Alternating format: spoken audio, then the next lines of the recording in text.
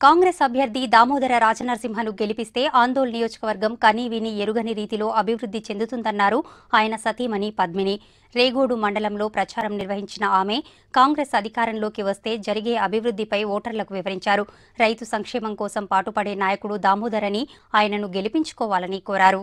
అందోల్ నియోజకవర్గ కాంగ్రెస్ అభ్యర్థి దామోదర రాజనరసింహకు ఓటేయాలంటూ ప్రచారాన్ని ముమ్మరం చేశారు ఆయన సతీమణి పద్మిని. రేగోడు మండలంలోని ఇటిక్యాల కొండాపూర్లో పర్యటించి కాంగ్రెస్ అధికారంలోకి వస్తే ఎలాంటి అభివృద్ధి జరుగుతుందనే దానిపై ఓటర్లకు వివరించారు. రెండు వేల నాలుగులో అప్పటి ముఖ్యమంత్రి వైఎస్ రాజశేఖర రెడ్డి హయాంలో సింగూరు నీరు అందోల్ రైతుల హక్కు అని నూట నాలుగు రోజులు రిలే నిరాహార దీక్ష చేసిన నాయకుడు దామోదర రాజనరసింహ అన్నారు. ప్రతి రైతుకు సింగూరు నీటిని అందించాలనే ఉద్దేశంతో కాలువలు తవ్వించడం జరిగిందన్నారు. ఈ ప్రాంత ప్రజలు వలసపోయి వారి బ్రతుకులు ఆగం కాకుండా గ్రామాల్లో ఉండాలని కోరుకున్నారన్నారు. పుష్కలంగా పంటలు పండి రైతులు సుఖశాంతులతో ఉండాలని కోరుకున్న నాయకుడు దామోదర రాజనరసింహ అన్నారు. అందోల్ నియోజకవర్గ పిల్లలు ఉన్నత చదువులు చదవాలనే ఉద్దేశంతో అందోల్ గడ్డపై కళాశాలలు ఏర్పాటు చేయడం జరిగిందన్నారు. కావున మన ప్రాంతం అభివృద్ధి చెందాలంటే కాంగ్రెస్ పార్టీకి ఓటేసి అధిక మెజారిటీతో దామోదర రాజనరసింహను గెలిపించాలని కోరారు. రేగోడు మండల కాంగ్రెస్ నాయకులు కార్యకర్తలు అధిక సంఖ్యలో ప్రచారంలో పాల్గొన్నారు.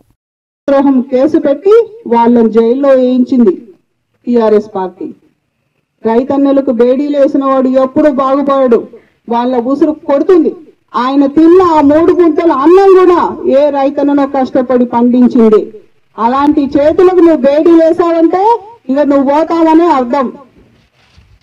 రైతన్నలకి కాంగ్రెస్ పార్టీ నేను ఇస్తున్నది మీరు పండించిన పంటలకు అధిక గిట్టుబాటు ధర. చెప్తాను నేను. వరి మొక్కజొన్నకు రెండు వేలు పత్తికి ఆరు వేలు మిర్చికి పదివేలు కందులకు ఏడు వేలు.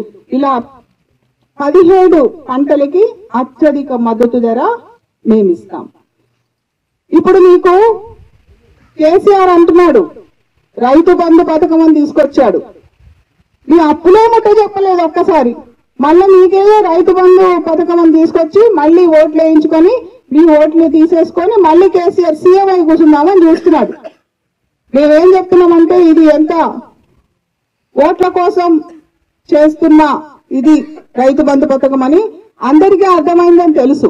రైతు బంధు పథకం కింద కేసీఆర్ ఎంతైతే ఇచ్చాడో అంతకంటే ఎక్కువ మేము ఇస్తాం.